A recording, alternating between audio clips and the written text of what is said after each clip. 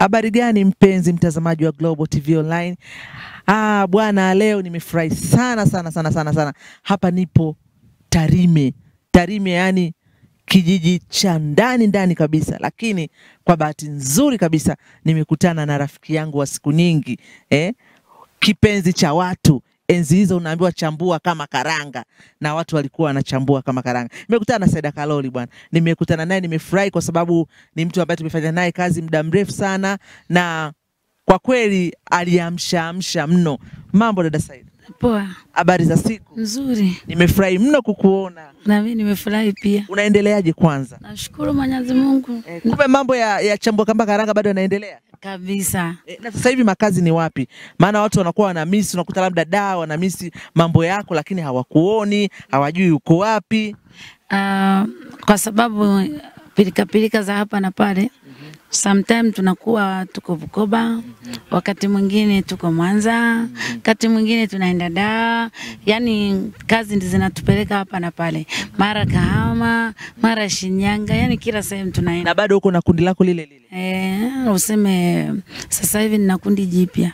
Lakini sasa tuone, kwa sababu sasa hivi uh, mambo ya mziki yameingiliwa na mambo mengi hapa na pale eh, na hata hivyo pia, kwa sababu pia ulihama Dar es Salaam ukaja mikoani, kuna utofauti gani katika maisha? Lakini sasa tuone, kwa sababu sasa hivi uh, mambo ya mziki yameingiliwa na mambo mengi hapa na pale eh, na hata hivyo pia, kwa sababu pia ulihama Dar es Salaam ukaja mikoani, kuna utofauti gani katika maisha? Maisha ni mazuri, maisha ni mazuri. Mimi sipendagi kulala, hivyo muda mwingi nikiwa da nakuwa ni mtu wa kuangalia TV, lakini nikiwa mikoani nakuwa ni mtu wa harakati wa kukimbizana hapa na pale, na wakati kama huu kwenye msimu wa wasukuma tuna tunajikita sana vijijini. Una tuna sometimes tunakuwa tuko Shinyanga vijijini kama vijijini kwenye mapoli mapoli uh, hivyo watu kutuona inakuwa ni nadra sana. Kwa nini kwenye mapori? Um, mashabiki ndo waliko. Mashabiki yani hawajawahi kumwona Saida Karoli, wanajua sauti yake, kazi yake, hivyo watu wanakusanya wengi wengi wengi kuja kuniangalia. Kwa hiyo ni wale ambao wanashauku na sisi tunawafata huko waliko. Yeah. Ah, na sa, sa, Saida, kwa sababu watu wengi hawaja kuona muda mrefu, kama unavyosema, unakuta kumbe unapita kwenye vijiji vya huku na kule, lakini naamini kabisa kuna changamoto nyingi ambazo labda ulikutana nazo ukaamua kutoka sehemu moja kuja nyingine. Ni nini ambacho umekutana nacho kipindi cha nyuma mpaka hivi sasa?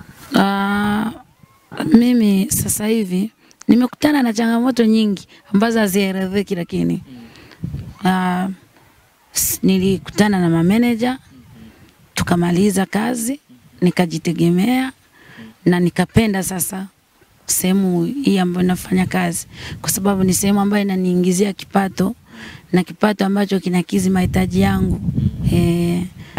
Tuseme kwa lugha nyingine Hapana, ni kawaida. Kazi kazi za Tanzania ndio tulivyo hivyo.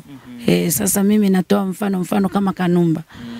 Ukiangalia Kanumba jina lilikuwa limeshakuwa kubwa sana, lakini wakikwambia kwamba hatuoni kitu ambacho kinahusiana na Kanumba, hatuoni gorofa, tuoni magari, tuoni majumba ya Kanumba. Kwa hiyo na mimi naji, najifananisha hivyo.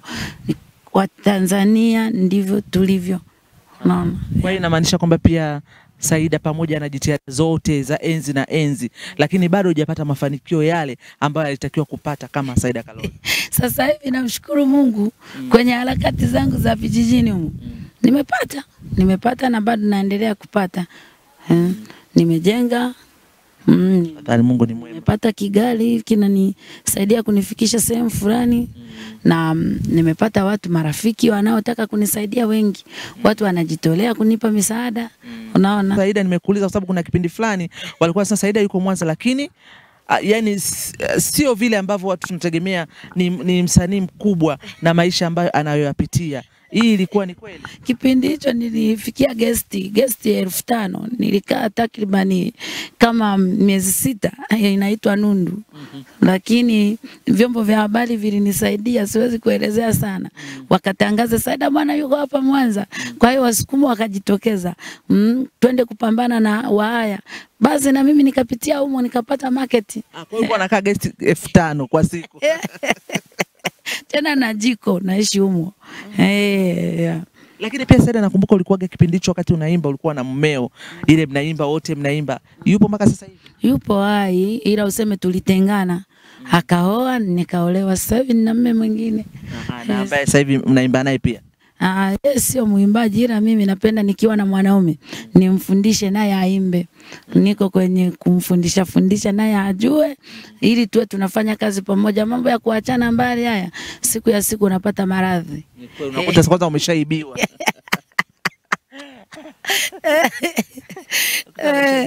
Sasa Saida una watoto wangapi? Eh, wale ambao nilianza nao nilianza nao fani ya mziki ni watatu. Sasa hivi ninao tena watatu, jumla wamekuwa sita. Misukosuko yapi hasa utoka uyasahau? Misukosuko ni mingi sana kwenye kazi ya mziki, mpaka Mungu awe amekutunuku kwamba bwana, nenda ukafanye kazi hii. Kazi hizi za mziki sidhani kama na waigizaji waka, lakini nikitazama naona kama na waigizaji wanapambana na mambo mengi kama sisi waimbaji. Ndio sanaa yetu Tanzania, kwa sababu vitu vingi tunavyokumbana navyo. Mfano, naweza nikatoka hapa nikaenda katika kijiji kupiga show, wakasema sio yeye, Wakasema sio wewe. Eh, sio yeye kabisa. Kwanza wengine wanafikiria ni mzee bibi kikongwe, tana na mambo mengi. sometimes tena wakati mwingine hata kwenye show asiingie hata mmoja. Basi kabla tujaendelea na mpenzi mtazamaji, nataka apate kile kionje cha chambua kama karanga. Iko hivyo, mwenye wivu wajinyonge kweli, mwenye wivu wajinyonge sana. mwenye wivu wa jinyonge. Iyo, yo yo yo, ye ye ye ye ye. Iyo, mama mama, ye ye ye ye ye. Mwenye wevo wajinyonge kweli. Lakini pia katika mapito ambayo umepitia Saida, haukuwaza kukata tamaa ya kuacha ku, kufanya mziki? Nilishawahi kukata tamaa sana, lakini sasa la ajabu zaidi nikakutana na Wasukuma makabila tofauti tofauti vijijini, wakanipa tena moyo yaani nikaibuka tena vile nilivyokuwa nawazaga kujiua, vile nilivyokuwa naona maisha yamenishinda, ni- vyote nimevisahau Kumbe Sauda ulisha, Saida ulishawahi kujifikiria kujiua? sana. Mara nyingi tu nilikuwa naona nimeremewa, nilikuwa najihisi siwezi chochote, nilikuwa nafikiria mimi yani mimi si lolote, lakini namshukuru Mwenyezi Mungu. Na wakati huo nilikuwa naumwa hakika, mm. hata ungenitazama sasa, Saida amezeeka labda na miaka themanini au mia, lakini nilivyorudi sasa nikarudi kuwa safi safi safi. Nini kilikuwa kinakusumbua? Yaani mi nilikuwa nikiwaza na umwa kila nikiwaza, kila wiki nalazwa Ilikuwa labda ni stress. Eh, yani kila wiki lazima nilazwe. Na huku sasa Tarime, maana katika pitapita huku tukakutana Tarime. Huku na wewe Tarime mwenzangu umekuja kwenye nini? Huku nimekuja kwenye kampeni ya Jatu Kumbe na wewe umeshaingia Jatu. kabisa, tena nimeingia mzima. Sasa na hisa zake umenunua? Ah, nimeshaanza mimi, Mm. nimeshaanza nime, nimenunua hisa na wameshatu wameshatufundisha jinsi ya kurejesha, mm. jinsi ya kupokea. Unachukua buku tano unaizalisha inakuwezesha. Sasa mimi nilikuwa nawaza hata watoto wangu waanze mama ntilie, yule wa kiume awe dereva bodaboda, wote waingie Jatu, wawe wanachukua mikopo wana, wanazalisha. Unaambia nini sasa wasanii wenzako wa mziki popote walipo e, maeneo mara nyingi wasanii waga tuna siri. Mtu anaweza akawa hani, hana hata mia ya kula, lakini anataka jiweke, yuko vizuri wakati hana hata mia. Unaona, mimi nataka niwaeleze wasanii tunateseka kwa sababu gani? Tuingie Jatu, tujiwekeze Jatu, tuchukue Isa Jatu na sisi wasanii tuinuke. Yeah. Mimi naomba nikushukuru Saidi. Asante. Naam, mpenzi mtazamaji wa Global TV Online, kama ulivyoona na kama ume, ulivyoitazama interview ya mimi na Saida Kaloli, ilikuwa ni interview nzuri sana, lakini moja ya yote tumefanikishiwa hapa na Jatu. Jatu ameweza kutufanya mpaka mimi nimeweza kufanya interview na Saida, na pia we mpenzi mtazamaji wa Global TV, naamini umeburudika vilivyo, kwa sababu utakuwa ulimisi Saida, lakini amejieleza yuko wapi, anapatikana wapi. Kumbe kazi yake bado inaendelea, kama ule msemo wetu kwamba kazi Naam, ulikuwa na mimi Imelda Mtema, nyuma ya kamera niko na Oscar. Naomba uendelee kutizama Global TV Online kwa sababu ndiyo mambo yote.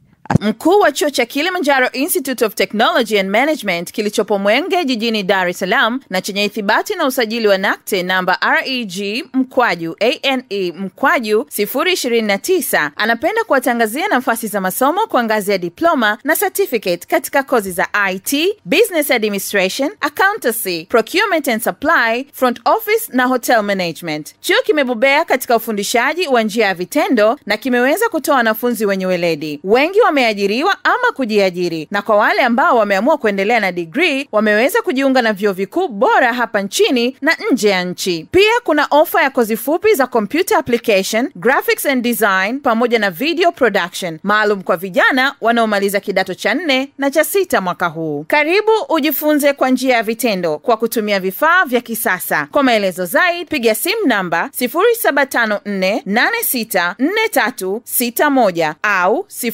0715075840. KITM, elimu na ujuzi kwa maendeleo ya viwanda.